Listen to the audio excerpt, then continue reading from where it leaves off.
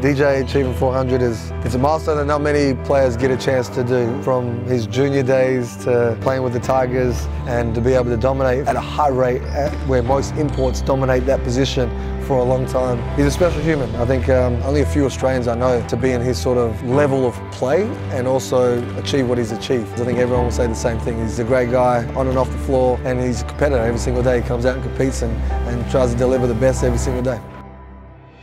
Thomas gets it to Johnson. His layup is good. He's coming up with the big plays for Melbourne. On one fast break and the jam by Johnson.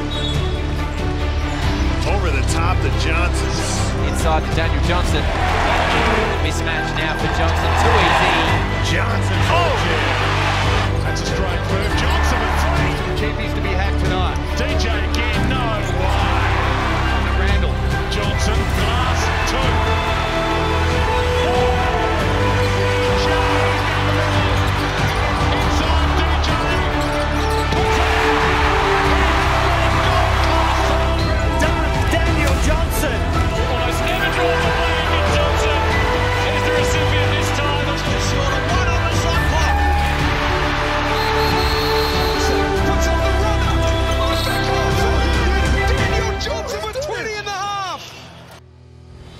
No, I think it's just cool to be able to play so many games, especially for Adelaide as well. Um, be a big part of that and just be able to be in the league for as long as I have is um, something I'm grateful for and hope I've got a few more years left.